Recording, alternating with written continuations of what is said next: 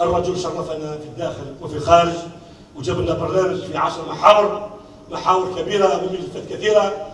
إنجازات كمكتسبات ولكن النفس طماعه إحنا حابين ندعم الاستقرار. الاستقرار يجيب لنا التنمية يجيب لنا الخير ويبعدنا عن المشاكل ويخلي الطريق واضح. إحنا حابين نزيد نعمق هذه الإصلاحات. لأن المواطن عايز اليوم بالملموس الراجل جاب أرقام. أخي هذا افعال الأرقام واضحة. فعبد المجيد سبون جسد التنمية فكرا وفعلا وقولا وعملا. من خلال الأرقام والنتائج التي حققها. الرجل يتكلم على مليون هكتار في الصحراء كأراضي مسقية من أجل بعث فلاحة قويه ويتكلم على بنك البذور والمشاريع. العقد تاع بلدنا القطريه 3.5 مليار دولار في اضرار الذي سيمس كل الولايات ممنوعه ما شاء الله. محيط فلاحي كبير الجزائر اليوم أصبحت تلعب على أكثر من صعيد. أي سياسة أفضل من هذه السياسة؟ أي برنامج أفضل من هذا البرنامج؟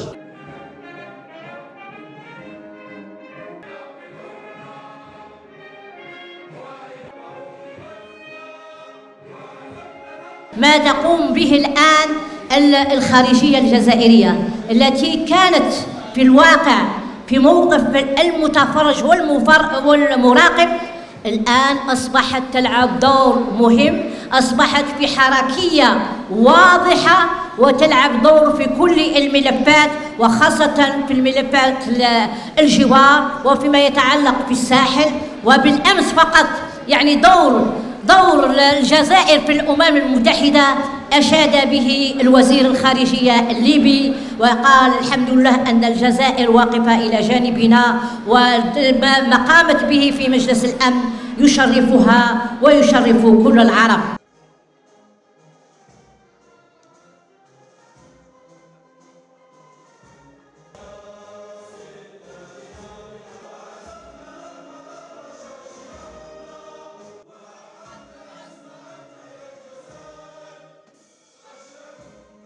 توجهات والرؤية تاع الرئيس لأن نقول اليوم وأنا أشهد من الله لأنه نية صادقة نحو التغيير.